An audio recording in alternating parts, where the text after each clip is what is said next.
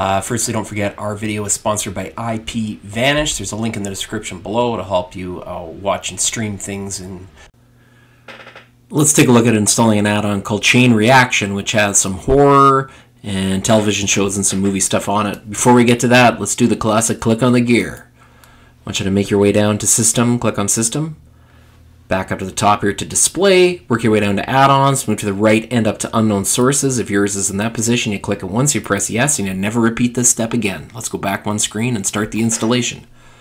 Next, I want you to go to the File Manager. Let's select that option. Let's go down this list on the left you come to Add Source. Let's double click there. Move over to the blue None, click on that, and let's enter that repo address.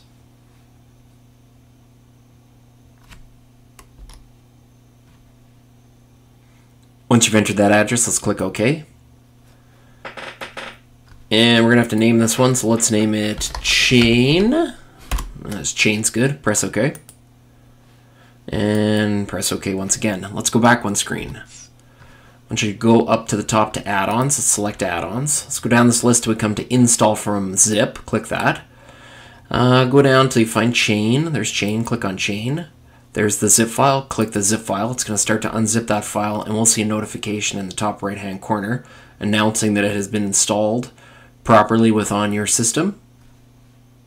There it is. When you see that message, you can next go to Install from Repository. Go down this list till you come to the crew repo. Click that option.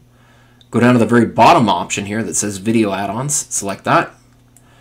And then we are looking for chain reaction. And there it is. So let's click on chain reaction, go to install, and lastly click OK.